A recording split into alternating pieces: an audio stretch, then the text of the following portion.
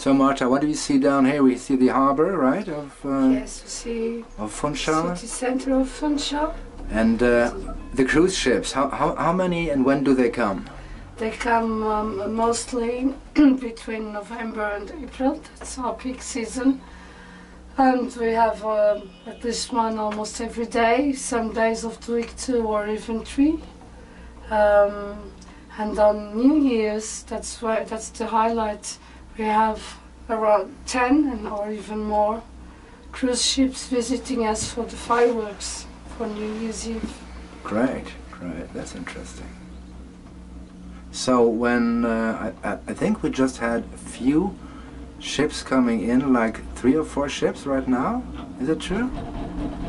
And, and th- then then we have a lot of people in Funchal, right? Uh, A few thousand yes. people. Depends. Uh, there are it depends on the size of the cruise. Some are smaller, others are bigger.